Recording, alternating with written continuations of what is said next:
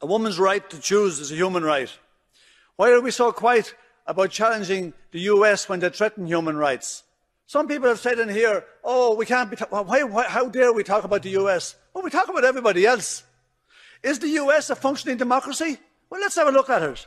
It costs two billion to become president. They're 25% of the total prisoners in the world.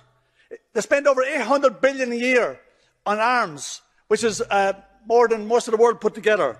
They've been at war for 250 years since their state was formed 275 years ago. But they can't afford universal health care.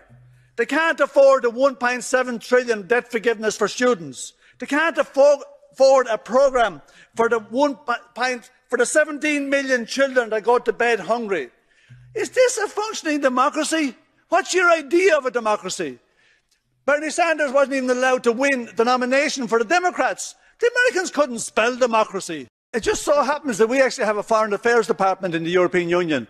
And we actually question how everybody else run their affairs. We're never done talking about China. We talk about Syria, Iraq.